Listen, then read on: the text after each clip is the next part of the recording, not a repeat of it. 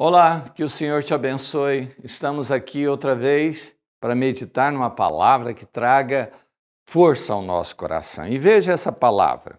E despedidas as multidões, subiu Jesus ao monte a fim de orar sozinho. Em caindo a tarde, lá estava ele só. Entretanto, o barco já estava longe, muitos estádios da terra, açoitado pelas ondas, porque o vento era contrário. Na quarta vigília da noite, por volta de três, entre três e seis da, da madrugada, foi Jesus ter com eles andando por sobre o mar. Os discípulos, ao verem andando sobre as águas, ficaram atemorizados e exclamaram: É um fantasma! E, tomados de medo, gritaram.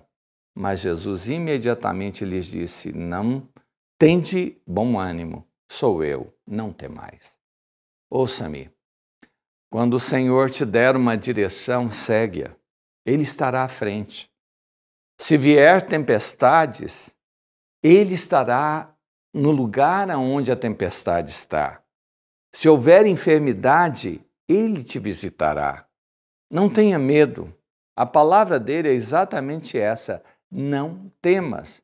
Não tenha medo de nada. Então eu quero que você entenda que o Senhor vai ao seu encontro quando o momento for difícil.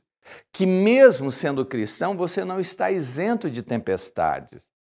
Que mesmo como cristão, você pode enfrentar problemas, porém, saiba que o Senhor vai te encontrar, que ele trará uma palavra séria. Se for preciso, ele vai fazer como fez com Pedro. Quando Pedro disse: Senhor, se tu és, se és tu mesmo, manda eu ir ter contigo.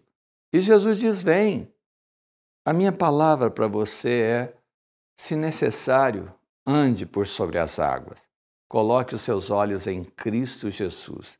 Não desvie o seu olhar e tenha convicção de que as mãos dele se estenderá até se você por um minuto vacilar, ele vai te, te levantar e te colocar num barco seguro, onde a tempestade vai cessar, e aquele barco te, levar, te levará para um lugar que você tenha paz. Eu quero orar, porque eu creio que Deus também quer levar você para este lugar. Vamos juntos. Deus, eu te dou graças, porque a tua mão não se encolhe a nosso favor. Pelo contrário, ela está estendida Ó Deus, mesmo no meio das tempestades que tantos têm enfrentado, eu te peço, visita, visita esse que está enfrentando um problema dentro da sua casa. Deus, Senhor, é o Deus que traz soluções. E no nome de Jesus é isso que ministramos. Aquele que precisa de cura, o Senhor é o Jeová Rafá, o Deus que sara, o Deus que muda. Deus toca. O Senhor também é aquele que muda a alma muda de cada um. Tira o medo e, ó Deus, planta uma palavra viva, uma fé ousada e, acima de tudo, um pleno descanso em cada coração. É o meu clamor e eu louvo-te em nome de Jesus. Amém. Deus abençoe você. Estaremos juntos no próximo programa. Um abraço e até lá.